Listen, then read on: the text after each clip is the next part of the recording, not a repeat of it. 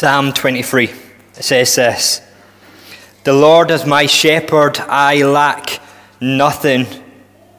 He makes me lie down in green pastures, He leads me beside quiet waters. He refreshes my soul. He guides me along the right paths for his name's sake. Even though I walk through the darkest valley, I will fear no evil, for you are with me. Your rod and your staff, they comfort me. You prepare a table before me in the presence of my enemies.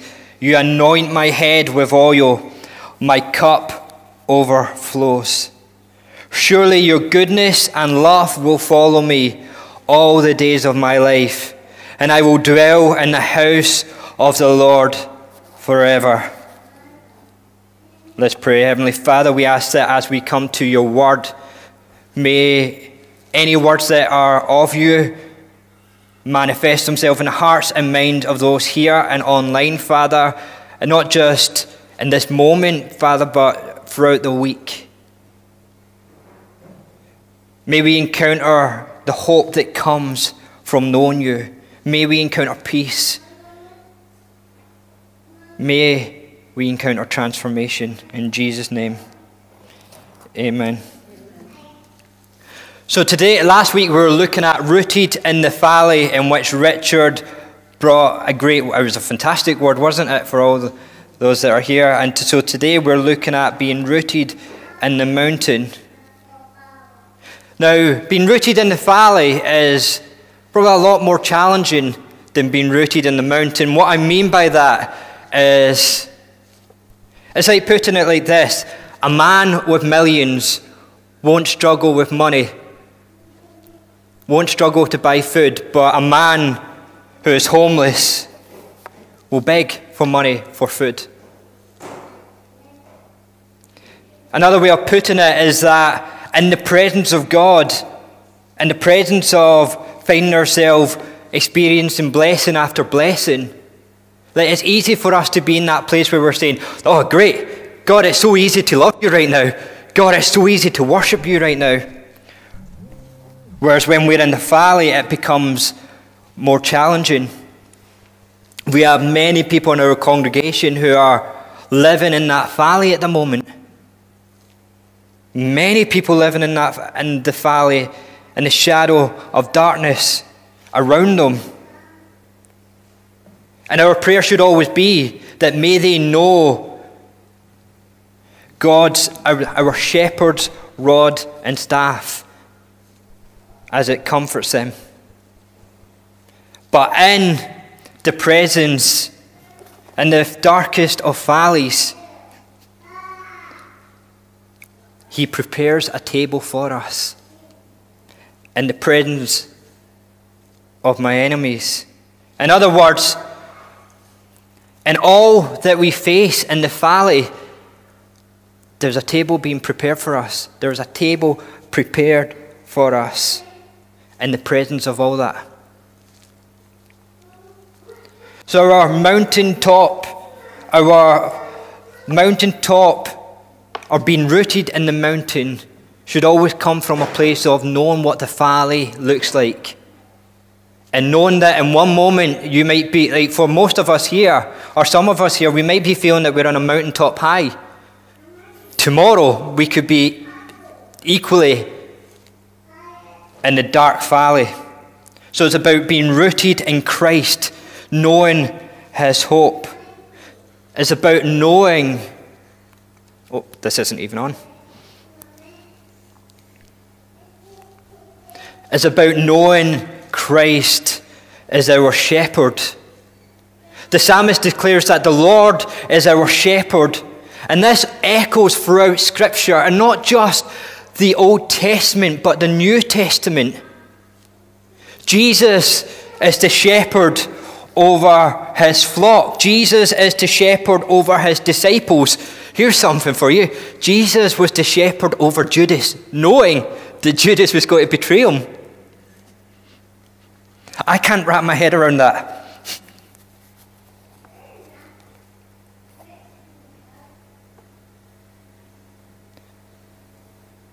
We see from the Good Shepherd in John 10 to Ezekiel 34, we find a consistent theme throughout Scripture of God's tender care and guidance for his people. God is a jealous God. And we all, we, we may think that jealousy is a bad thing.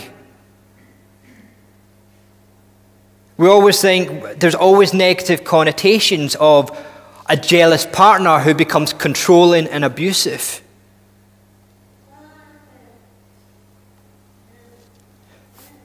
But if my wife Zoe started flirting with another man, and she wouldn't, and I know she wouldn't, I would become jealous. And I believe that that jealousy in which I feel is a jealousy that Zoe is my wife. In covenant of marriage, she is my wife. And whom, as I shared at communion, in my struggles, I will share it with her. In my, in my sin, I will share what I have done. And in the same way, God in the Old Testament was jealous when his bride, when Israel went away from God. God, countless times where Deuteronomy, we'll find it, would say, would say, I will bless you, people of Israel, if you are obedient, but I will curse you if you are disobedient.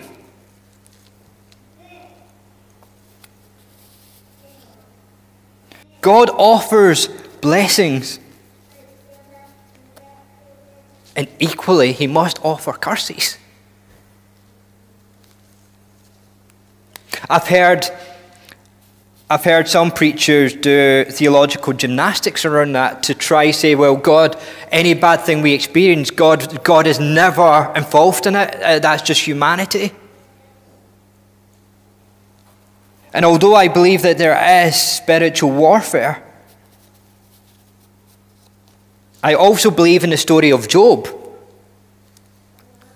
where Satan asked God's permission. Oh, I'll put it further. God says, How about my servant? For me, that's a tough truth. And over the past couple of years, when I've I found myself looking at different theological viewpoints from the charismatic viewpoint to the reformed viewpoint, I find that the reformed viewpoint offers greater hope. The reformed view doesn't create a picture of, of God being Manny Pacquiao and the enemy being May, Mayweather. I'm, I'm not good, I don't know boxing. But I don't think it's like that. God wouldn't be God if, if his creation could overwhelm and overcome him. There's good news there. God cannot be overcome.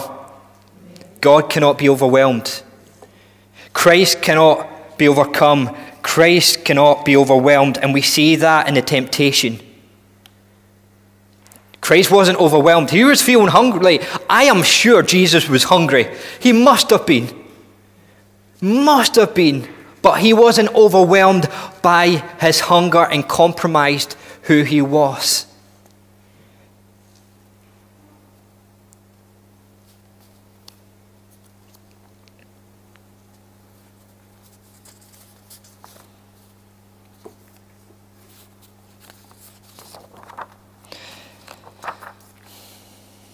We must drink from the source. As students seek answers from the source, when I was at Bible college, when looking at essays, I would always have to look at Scripture as the main source, but also commentaries as secondary sources to seek answers. We must too, in the mountaintop high, in the valley low, seek God's comfort through His Word. God's word deepens our knowledge of Christ, the foundation on which we stand. If we're not grown in Christ, then we really need to be thinking about where we are in our faith. If we plant a seed and we water it, the tree will grow. But if we don't, the seed will die.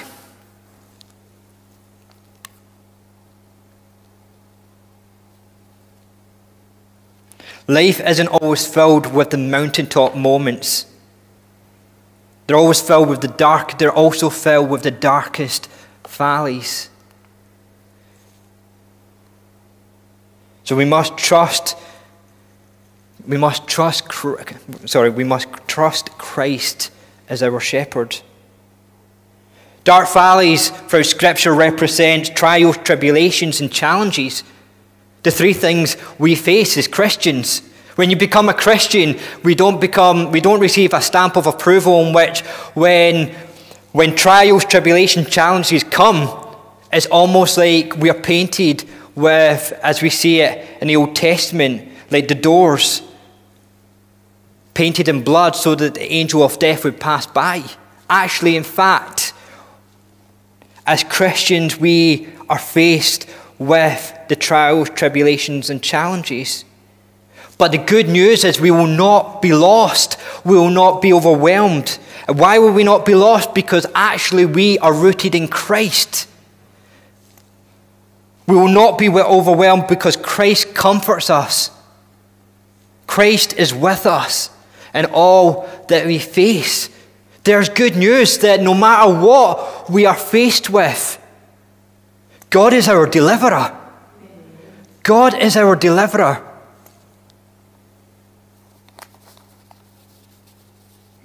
For those in our congregation who has faced loss, God is our comfort and our shield.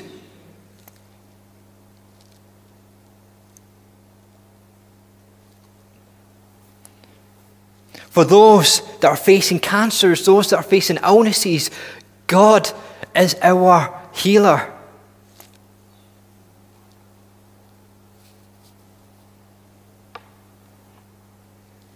There's good news. We can trust Christ as our Savior because Christ is trustworthy.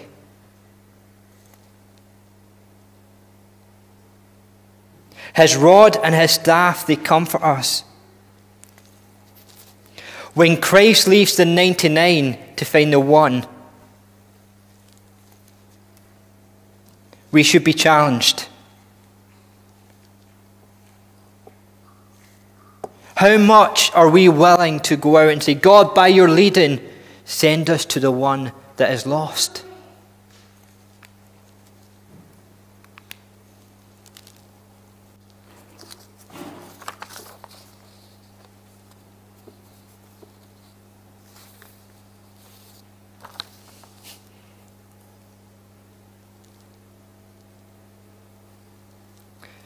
Christ is with us. All that we face, all that we endure, Christ is with us.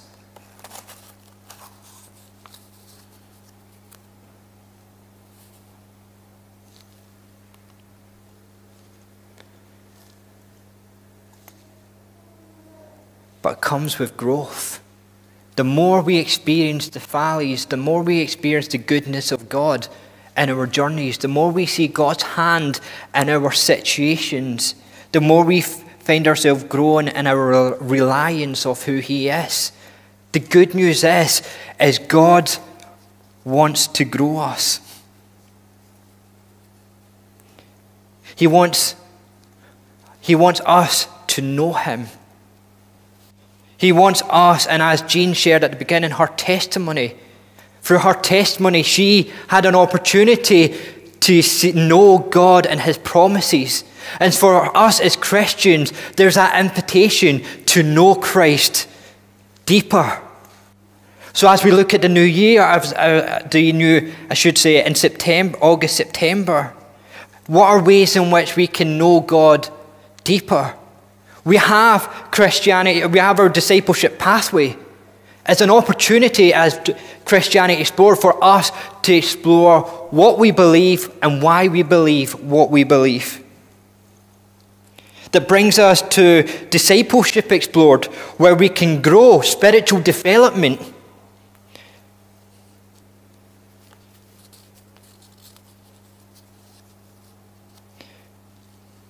Like grown plants, we need to flourish in our walk with Christ, engaging in life groups, engaging in prayer meetings, engaging in discipleship pathway, engaging in the areas of our church, the ministries in which our church that is offering to provide that spiritual need. But not only that, at home we must be growing in our knowledge of Christ. And not only that, we must be sharing the good news of Christ. We must be sharing the good news of the gospel. We must share Christ as our shepherd. What, what kind of good news is it if it's exclusive? It's not good news at all.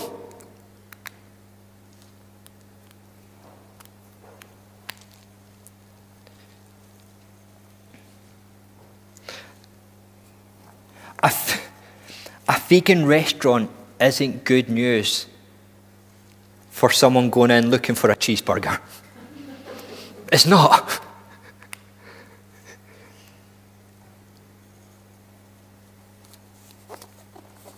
The gospel isn't good news if our attitude is saying, well, only my friends are welcome, but you're not. That's not good news. That's not the gospel.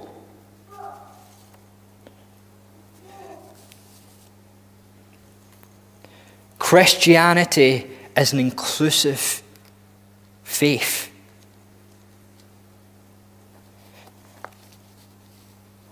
I'm not turning progressive. You might be thinking, where, where's the pastor going here? But the gospel brings us in. The gospel, the gospel invites us in. But what does Jesus offer? What does Jesus say? Repent and believe. Repent and believe. We become a sanctuary of hope, a sanctuary of hope to the broken. The DNA of Hope Hall is bringing hope to the broken communities of Paisley and Charleston and Alice Street. The beauty of us being a sanctuary of hope isn't that we're saying, look, come to Hope Hall where you'll find hope in a hall. It's saying, it is saying, there's a hope. No matter what you're facing, you may be going through the valley of the shadow of death. There's hope. You may, you may be on a mountaintop high where you feel that you don't need God.